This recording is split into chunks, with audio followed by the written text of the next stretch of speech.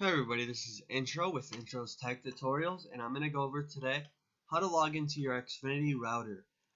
Basically, what you're going to want to do is open up your command prompt. If you don't know what your command prompt is, go to Search on Windows 8 or go to Run if you have Windows 7.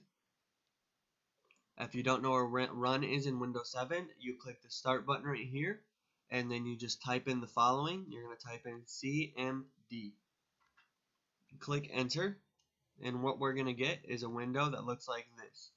In this window, you're going to type in IP CONFIG and you're going to look up here under wireless LAN adapter Wi-Fi and go to the default gateway address here at the bottom.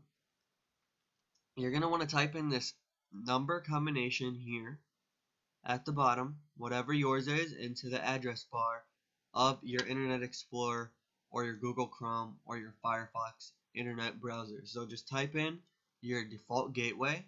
Mine is 10.0.0.1. So if I go to my address bar and type that in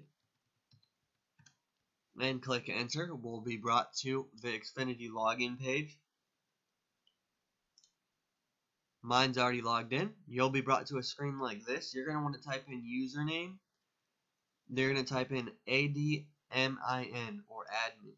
For the password, you're just going to type in password. No capital letters and just click login. And that's how you log into your router. Thank you guys for watching. Please subscribe and have a good day.